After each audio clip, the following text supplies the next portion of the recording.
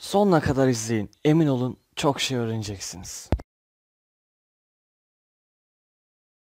Hepinize merhaba arkadaşlar. Hızlı ders öğrenine hoş geldiniz. Bugün LS Coğrafya Full Tekrar'da ikinci bölümdeyim arkadaşlar. Bu bölümümüzde Türkiye'de elektrik üretiminin kaynakları dağılımıyla başlayacağız bu bölüme.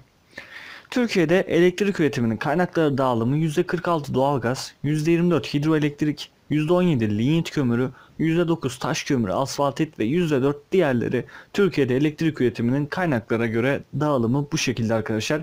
En çok elektriği doğalgazdan üretiyoruz. Türkiye'de bölgesel kalkınma projeleri var arkadaşlar. Bilirsiniz GAP, DOKAP, DAP, ZBK, YHGPA.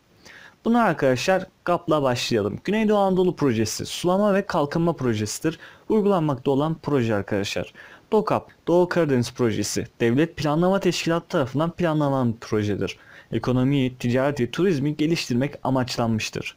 DAP, Doğu Anadolu Projesi. Projenin amacı bölgede büyüme sağlamaktır. Tarım ve hayvancılık ile ilgilidir arkadaşlar. ZBK yani Zonguldak Bartın Karabük Projesi. Projenin amacı demir çelik üretiminde bölgede yeni yatırım alanları oluşturmaktır. YHGP yani Yeşilırmak Havzası Gelişim Projesi. Projenin amacı Yeşilırmak Havzası'nda yer alan Amasya, Çorum, Tokat, Samsun illerini içine alan proje havzasında rejim düzensizliğinden kaynaklanan taşkın, erozyon, su ve çevre kirliliği sorunlarını çözmektir. Bu projeler önemlidir arkadaşlar. Gelelim jeotermal santrallere. Jeolojik yapıya bağlı olarak ortaya çıkar. Ege bölgesinde mevcuttur arkadaşlar. Sarayköy, Denizli, Germencik, Aydın, İzmir, Balçova'da mevcuttur. Heyelan Kirli yapı eğim ve yağış etkilidir. En çok Doğu Karadeniz'de görülür. İlkbaharda fazla, kar erimelerinden dolayı ilkbaharda fazla görülür arkadaşlar. İstinat duvarları en önemli önlemdir. Bir de arkadaşlar notumuz var. Bitki örtüsü heyelanı önlemez. Nüfus miktarının en çok olduğu bölge Marmara, nüfus miktarının en az olduğu bölge Doğu Anadolu bölgesidir. Nüfus artışının olumlu sonuçları arkadaşlar iş gücü ucuzlar, vergi alımı artar, ticareti canlılık gelir, yeni iş kolları ortaya çıkar. Bu sonuçlar olumsuz sonuçlara çok benzer arkadaşlar. Lütfen dikkatli olalım sınavlarda. Türkiye'de toplam nüfus içinde erkek nüfus sayısı daha fazladır.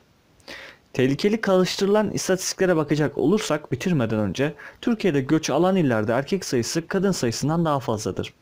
En fazla mısır yetiştiren bölge Akdeniz. Karadeniz yetiştiriyor ama arkadaşlar Karadeniz'de temel besin kaynağı mısır olduğu için ticarete önemi çok azdır.